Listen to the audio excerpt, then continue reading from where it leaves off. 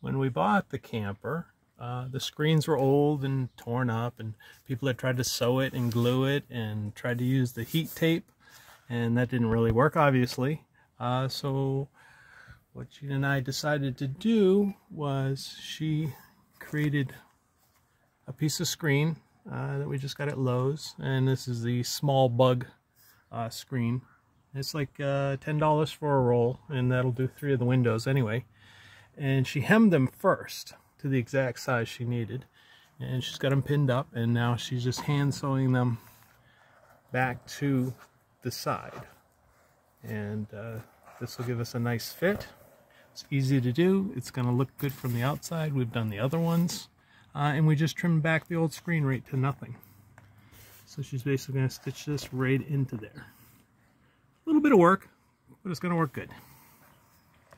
Nice job. Thank you.